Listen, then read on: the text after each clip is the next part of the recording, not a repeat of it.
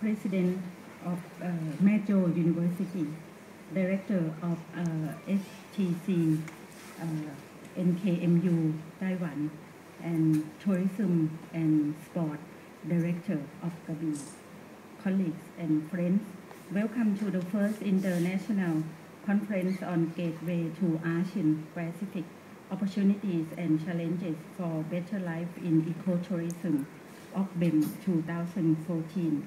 The conference is organized by Research Center of Ecotourism Management integrated in Southern Thailand, Faculty of Environmental Management, Prince of Songkhla University, and jointly with Faculty of Tourism Development, Maejo University, Thailand, with Center for Science, Technology and Society Research, College of Ocean Engineering, National Kaohsiung, Marine University, Taiwan.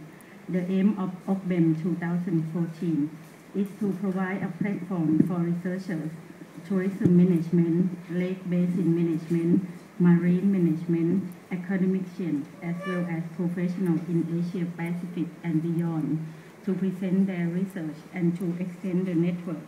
The researchers in this field. The conference program is rather interesting, offering variety of topics covered the oral part of the program consists of four sessions with 30 oral presentations were submitted. In addition, the three invited keynotes will cover topics from local to global issues as agrotourism, gateway to ASEAN, livelihood of ecotourism-based community-based management, Dear Ear community in, Thai, in Tainan City, Taiwan, and cross-cultural of ecotourism experience in ASEAN and beyond.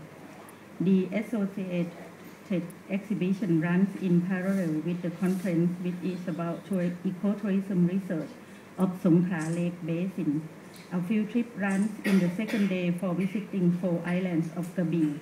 This offers you the chance to visit the marine ecotourism sites.